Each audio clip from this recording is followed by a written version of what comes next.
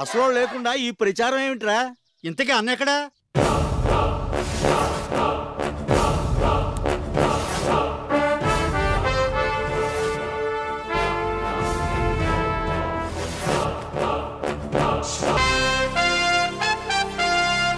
గురువు గారు పట్టు వదలని విక్రమార్కుల్లాగా ఈ రాష్ట్రానికి సీఎం అయ్యారు. మీ అభిమాన్ని ఈ దేవరపల్లికి పంచాయతీ ప్రెసిడెంట్ అయ్యేలా దీవించు స్వామి.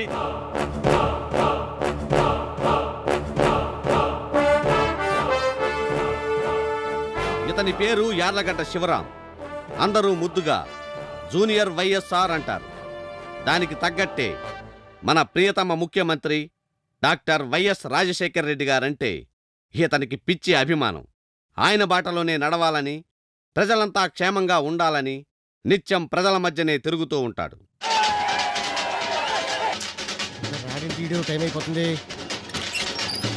వచ్చేస్తాడు వచ్చేస్తాడు. వచ్చావా? పద వెళ్దాం. ఒరేయ్. ఆ, బా, బా. తెల్లారిందా మీ ఇద్దరికి ఊరి మీద తిరగడానికి? అత్త ఇక నుంచి నువ్వు పార్వతమ్మ కాదు. దేవరపల్లి కాబోయే ప్రెసిడెంట్ శ్రీ శ్రీ యార్లగడ్డ శివరాం. బ్రాకెట్లో జూనియర్ వైఎస్ఆర్ తల్లివి. ఏడ్చావులే. అవునరా ఈ ఎలక్షన్ ఖర్చులన్నిటికీ నీకు డబ్బెక్కడరా మన చింతతో అమ్మేశానమ్మా చింతతోపు అమ్మేశావా? ఆ తొక్కల చింతతో పోతే పోయింది. ప్రతి ఓడు పొద్దున చొంపెట్టుకోవడం మత్తోపులోకి వెళ్ళిపోవడం కంపు. నువ్వు నోరు మీరా తిక్కలోడా? వీడిలా తయారవడానికి కారణం నువ్వేగా? రే బావా అత్త అలాగే అంటది కానీ అవతల టైం అవుతుంది పద. మీరిద్దరూ ఈ జన్మకి మారర్రా. ఆగండి. ఏడు చెప్పగానే పని చూపుకుని వెళ్ళిపోతున్నారు. ప్రమాణ స్వీకారం రోజున ఈ డ్రెస్ ఎదురు కానీ ముందు లోపలికి వెళ్ళి ప్యాంటు చొక్కా వేసుకుంటండి బాబు చిట్టి నాకు తెలిసినంత వరకు మొట్టమొదటిసారి ఒక మంచి ఐడియా ఇచ్చావురా. లోపలికి వెళ్ళి పంచ మార్చుకొని వస్తాను. మంచిది. పబ్లిక్ని మేనేజ్ చెయ్యి చేస్తాం మీరు వెళ్ళండి.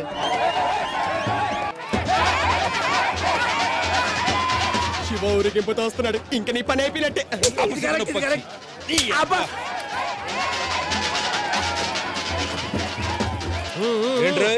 ఇంకా కౌంటింగే మొదలవ్వలేదు? అప్పుడే బాజా భజంత్రులతో బయలుదేరావు? తర్వాత ఎలాగో ఛాన్స్ రాదనా? ఎలాగో గెలిచేది నేనేగా చలవేమా చూస్తే తెలియట్లా చచ్చినాడికి వచ్చినట్టు నీ వెనకాల నలుగురు. నా వెనకాల చూడు ఊరు ఊరే ఉంది. రేయ్ ఇది రాజకీయమరా తెలుసులేవా? వినటానికి తీయగానే ఉంటది. అనుభవమే చేదుగా ఉంటుంది. షుగర్ పేషెంట్కి అలాగే ఉంటుంది! ఇప్పుడే అందిన ఫలితాలు. చూడు. మొదటి విడత లెక్కింపులో బుడ్డా చలమయ్య గారి కంటే యార్లగడ్డ శివరాం గారు పదిహేను ఓట్ల ఆధిక్యతలో ఉన్నారు.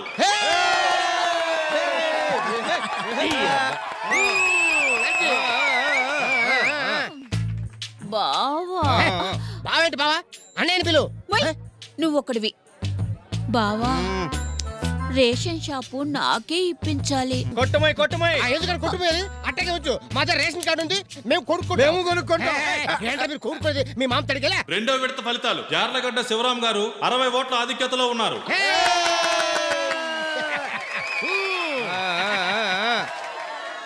శివ మరి నా రైస్ మిల్ లైసెన్స్ సంగతి. చిట్టి చూడమ్మా. నేను మాడతా నేను మాడతా మూడో విడత ఫలితాలు. బుడ్డా చలమయ్య గారు యార్లగడ్డ శివరాం గారు చెరో పన్నెండు వందల ఓట్లతో సరి సమానమైన పోరులో ఉన్నారు. ఆఖరి విడత ఫలితాలు. బుడ్డా చలమయ్య గారు యార్లగడ్డ శివరాం గారిపై పదిహేను ఓట్ల మెజారిటీతో గెలుపొందారు. మోసం దగా. ఇదేదో రాజకీయం రా. బావా ఏంటే? రేషన్ షాపు నాకే ఇప్పించాలి. Same dialogue candidate change. రే శివరాం ఇక రాజకీయాలు మానేసి ఊళ్ళో వాళ్ళ అప్పులు ఎలా తీర్చాలో ఆలోచించరా. పదండ్రా పదండి.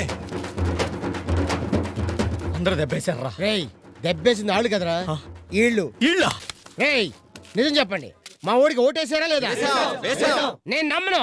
మీరు నమ్మరని తెలిసే ఆ, ఏసు నోట్లు గోసులో దాచిపెట్టాం.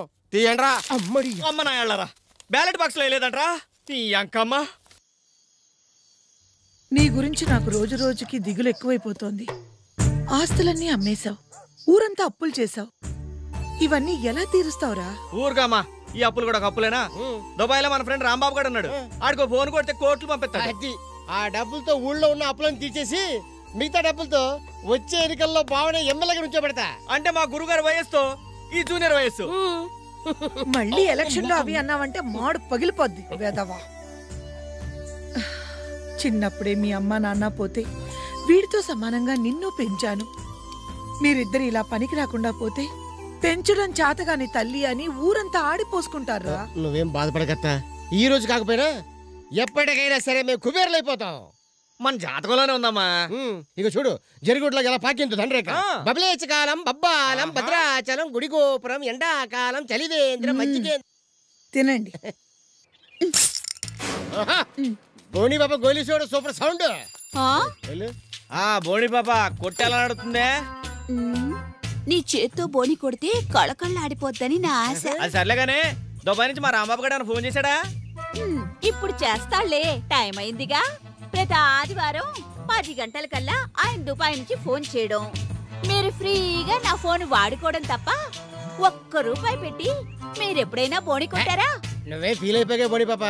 నీ రుణం ఉంచుకోలే. మా రాంబాబు గారు చెప్పి నేను దుబాయ్ పంపిస్తాం. అక్కడ కానీ నీ కొట్టి పెట్టావనుకో. దుబాయ్ సైకిల్ బోని కొడితే నీ ఒళ్ళంత బంగారమే.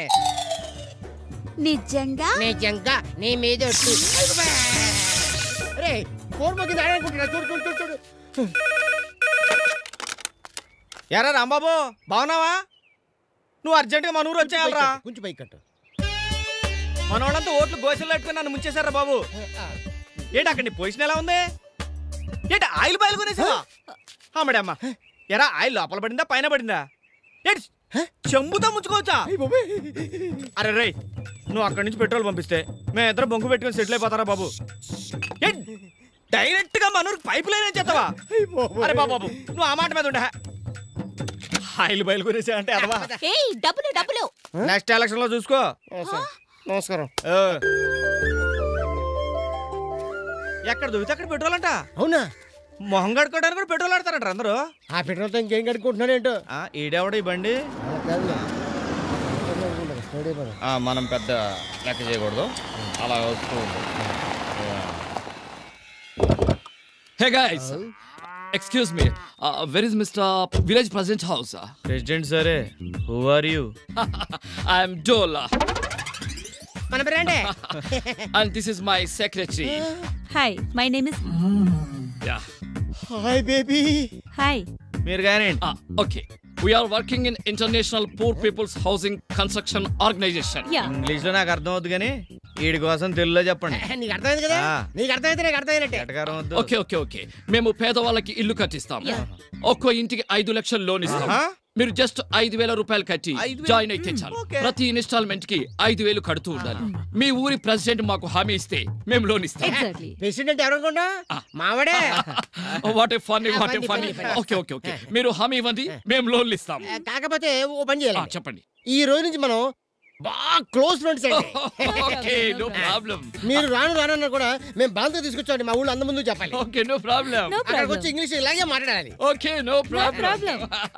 Come on secretary come on అన్నిటికీ నో ప్రాబ్లం నో ప్రాబ్లం అంటున్నావు. ఆ. తర్వాత మనకేం ప్రాబ్లం రాదుగా? No problem.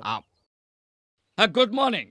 My name is and she's విషయం చెప్పు okay okay okay my dear gentlemen and my dear gentlewomen we are working international poor people's housing society organization ప్రపంచంలోని పేదవారికి ఇల్లు కట్టించే సంస్థలో మేం పనిచేస్తున్నాము and shiva asked me Shiva గారు మమ్మల్ని అడిగారు okay construction the houses for poor people పేదవాళ్ళందరికీ ఇల్లు కట్టించమని we agreed మేము ఒప్పుకున్నాం every house 5 lakhs rupees only ఒక్కొక్క ఇంటికి ఐదు లక్షలు ఖర్చు అవుతుంది and you pay 50% only మీరు సగం కడితే చాలు మిగతా సగం మా సంస్థ భరిస్తుంది and this is an installment offer you just pay 5000 rupees for every month అంతా ఒకసారే కట్టక్కర్లేదు ప్రతి నెల ఐదు వేల చొప్పున కడితే చాలు and this is our house model two bedrooms. రెండు పడక ఒక అవకాశం నాకు ఇవ్వండి. two bedrooms. ఆ రెండు పడగ one big hall. ఒక పెద్ద హాలు. One kitchen. ఒక వంట గద. And beautiful toilet. ఓ అందమైన పెంట గద.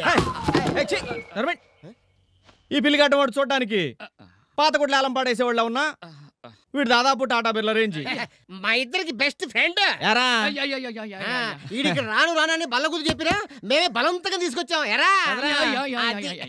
కాబట్టి ఈ గ్రామంలో ప్రతి ఒక్కరు కూడా సొంత ఇల్లు కలిగి ఉండాలని నా ఆశ ఆశయం మీరందరూ కూడా ఎవరికైతే అవసరం ఉందో వాళ్ళ ఐదు వేల రూపాయల చొప్పున పే చేసి మీ పేర్లు బుక్ చేసుకోండి ఎరా సిటిగా నేను చెప్తున్నాను మీరందరూ డబ్బులు కట్టండి నేను మంచి ఇల్లు కట్టిస్తాడు. అయితే నేనే ముందు బోని కొడతా.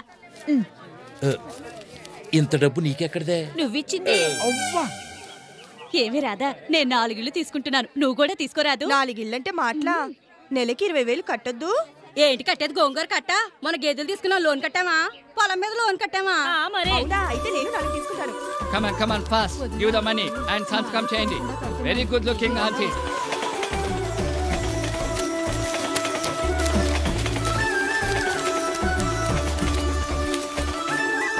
thank you thank you వచ్చి ఆదివారం డబ్బులతో వచ్చేస్తారు.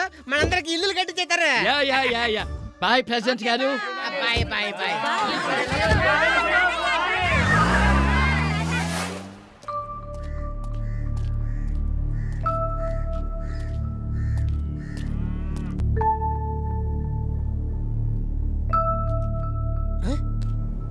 ఇదేంట్రా? చెరువు కట్టిన సంపట్టుని కూర్చున్నట్టు అలా కూర్చున్నారు. సరే కూర్చోండి. హా, సరే కూర్చోండి. హై? ఆ, అది. వచ్చేస్తాడు వచ్చేస్తాడు. ఒరే శివ ఆ పిల్లి గడపడు వస్తాడంటావా? ఆడు వచ్చినా రాకపోయినా పర్వాలేదు. ఇంతకీ పక్కన ఆ పిల్ల వస్తుందంటావా? ఆ పిల్లతో నీకేం పనిరా? పీకుతా నీ అయ్య. బాబు కింద పైన కాలుతుందిరా. ఇలా అయ్యా సేపు కూర్చోవాలి మేము? చెప్పుచ్చుకోండి యాదో కొడక. ఊరక డబ్బులు ఇచ్చేటప్పుడు ఏం చేయలేమంటారా? ఆ, ఆడేమన్నా పని పడాలని మీలాంటి ఎద అనుకుంటున్నారా మాలాంటి బిజీ పర్సన్. ఎరా బావా. కరెక్టే కదా. ఏరా తిరుపతి? ఎక్కడి నుంచి? అత్తగారింటి కానించా అవును మా అత్తగారింటి నుంచే. అవును ఏంటి? అందరు కలిసి ఇక్కడ మీటింగ్ పెట్టారు నీకు తెలీదా? మన శివ పట్నం నుంచి ఒక ఆయన్ని తీసుకొచ్చాడు. ఆయన ఐదు లక్షలు లోన్ ఇచ్చి మా నూరోళ్ళందరికీ ఇల్లు కట్టిస్తున్నాడు. ఐదు లక్షల లోనా? ఆడు మామూలు ఏంటి? International level? ఇంటర్నేషనలా? అంటే తెల్లకారులో వచ్చాడా? అవును. ఆడికి పిల్లిగడ్డ ఉందా? ఉంది. పక్కనే. చార్మి లాంటి పిల్లని ఉంటుందే. ఆ మేడమ్మ ఏం చెప్పావురా? కరెక్టే? టేబుల్ వేసి ల్యాప్టాప్ కానీ పెట్టాడా? పెట్టాడు బాబు. ఆడు ఇంగ్లీష్లో మాట్లాడితే ఇది తెలుగులో చెప్పుంటుందే. అయ్యి బాబాయ్ ఆడి గురించి కట్ట చెప్పేస్తారు అంటే బాగా చేసేటరా తెలుసా అంటే మా అత్తగారు ఊర్లో ఇల్లు కట్టిస్తానని చెప్పి అందరి దగ్గర డబ్బులు తీసుకుని పరారైపోయింది ఆడే కదా. అయ్యో అయ్యో అన్యాయం. అడగండి అందరూ అడగండి. ఇప్పుడు ఏం చేద్దాంరా? పూసుకో కాసుకో.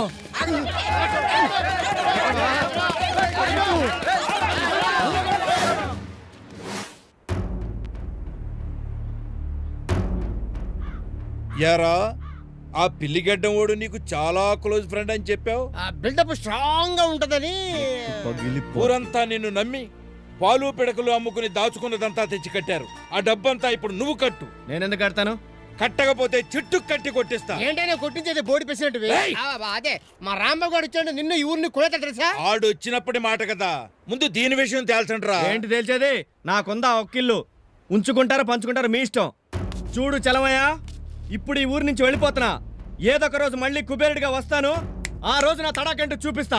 పదమ్మా! అగు నీ ఇల్లమ్మగా వచ్చేది. నువ్వు వీళ్ళ చేత ఇప్పించిన దానికి వడ్డీకి సరిపోదురా. ఎలా సంపాదిస్తావో సంపాదించి వీళ్ళందరికీ కట్టు. అప్పటి వరకు మీ అమ్మ ఈ ఊళ్ళోనే ఉంటది.